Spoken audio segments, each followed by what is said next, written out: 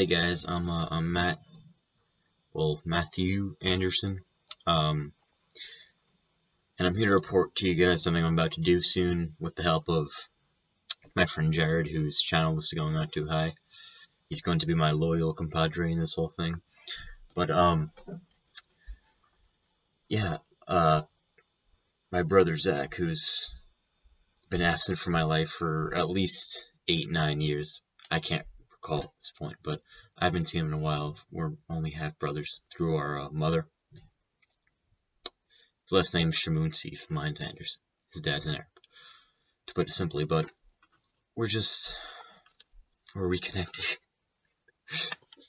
After what, like, so long.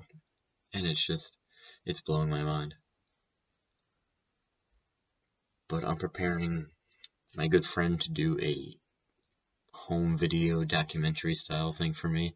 I'm kind of excited about it, about, you know, Zack and I getting back together in each other's lives and kind of reestablishing a bond.